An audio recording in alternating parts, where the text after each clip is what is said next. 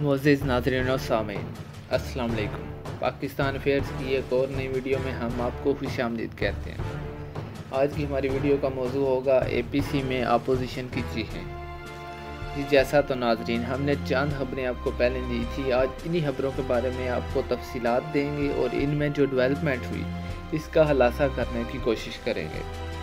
ناظرین، جیسا کہ احتساب کا عمل شروع ہو چکا ہے، جو کہ پورے ملک میں میں سے کرپٹ لوگوں کے خلاف کارروائی کر رہا ہے۔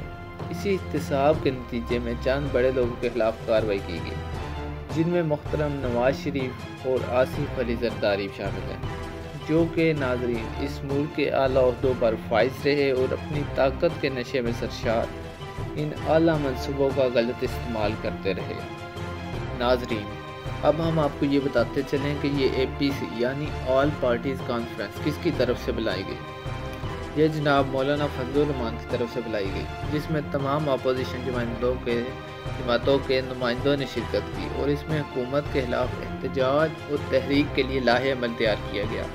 اس اجلاس کے آغاز پر سب سے پہلے یہ بات دہرائی گئی کہ یہ حکومت دھاندلی کا راستہ اپنا کے اقتدار میں آئی ہے۔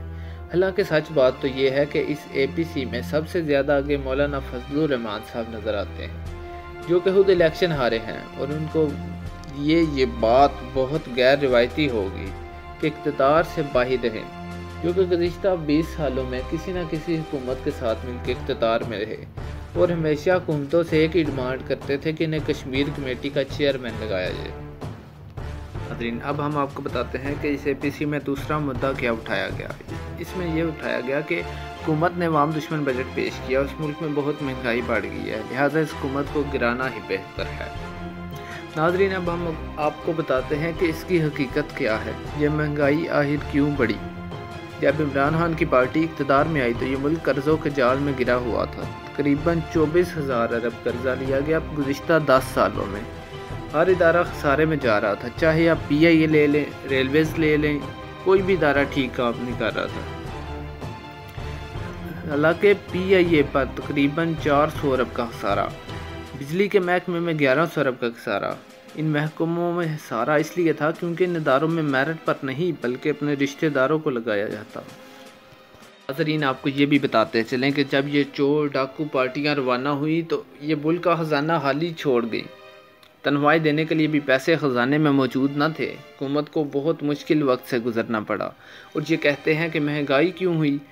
اور ناظرین، آپ کو یہ بھی بتائیں کہ ایک طرف تو یہ کہتے ہیں کہ ہم اس حکومت کے ساتھ ہیں اور اس کو اپنی مدت پوری کرنے دی جائے گی۔ ہم اس کو گرانا نہیں چاہتے۔ اور دوسری طرف، اے پی سی میں سب ڈاکو مل کر کہتے ہیں کہ ہم اس حکومت کو گرانے جا رہے ہیں۔ یہ بات سمجھ سے باہر ہے کہ آخر یہ کرنا کیا چاہتے ہیں۔ اور ناظرین، ایک طرف نیب میں شہباز شریف کو طلب کر لیا۔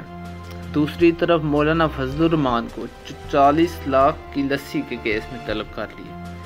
کیا یہ پی سی کی پھٹیاں اس وجہ سے تو نہیں دکھائی جا رہی کہ ان کو اپنے بچنے کی کوئی امید نظر نہیں آتی؟ کیونکہ جو انہوں نے اس ملک کے خزانے کے ساتھ کیا ہے، ان کا بچنا مشکل ہی نہیں، بلکہ ناممکن ہے۔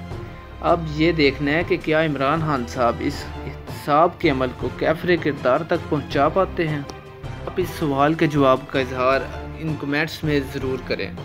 اسی کے ساتھ اس ویڈیو کو اختتام کرتے ہیں۔